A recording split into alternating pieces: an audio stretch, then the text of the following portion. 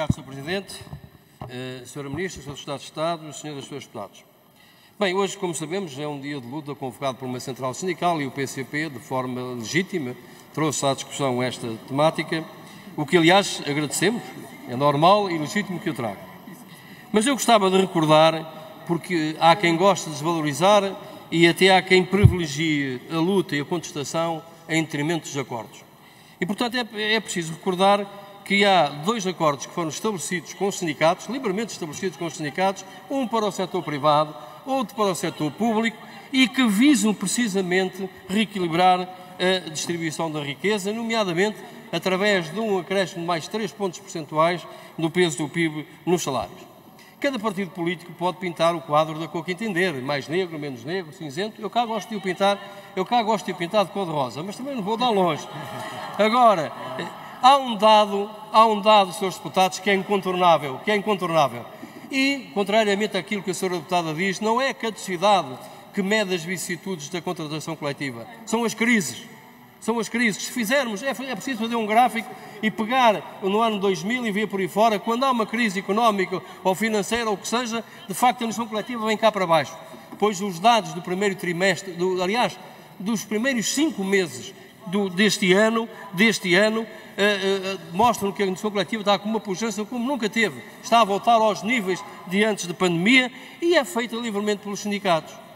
E vai, neste momento, com uma média de 8%, obviamente, de aumento de salários. Eu não quero discutir em médias, porque este aumento de salário até é superior em certos setores, em certas, em certas, em certas empresas, porque depende muito o aumento que se venha a obter da riqueza pecuniária da contratação coletiva. Há acordos que só têm praticamente a tabela salarial e mais nenhumas rubricas sobre pecuniária. Há, há outros acordos que têm.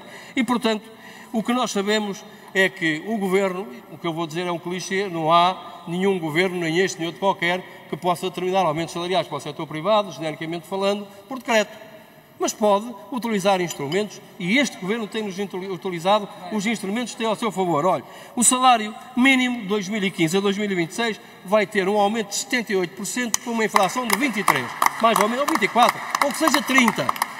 Tem um aumento real de, de salário. Há pouco tempo ninguém falou, parece que isto passou despercebido na nossa sociedade, foi emitida pelo Governo uma portaria das condições de trabalho para os chamados trabalhadores administrativos que preconiza aumentos entre 7,8% a 8,1%. Abrange cerca de 100 mil trabalhadores.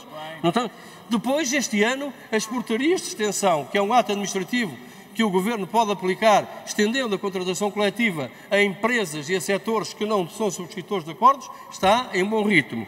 E, por fim, os benefícios que estão consignados no acordo também de rendimentos de médio prazo, que, com uma majoração de 50% em sede IRS às empresas que, de facto, por via da negociação coletiva, uh, uh, aumentem os salários pelo valor de referencial ou acima do valor de referencial. E é aqui que vem a minha pergunta para o Sr. Estado de Estado. Qual é, de facto, o grau de execução que o Governo acha que o acordo de médio prazo tem neste momento e que medidas ainda faltam implementar para este ano de, de 2023? E se o Governo, relativamente a esta questão dos benefícios fiscais, já uh, emitiu a sua interpretação relativamente uh, aos critérios de acesso à majoração, a esta majoração em sede IRS dos encargos de aumentos salariais. Muito obrigado.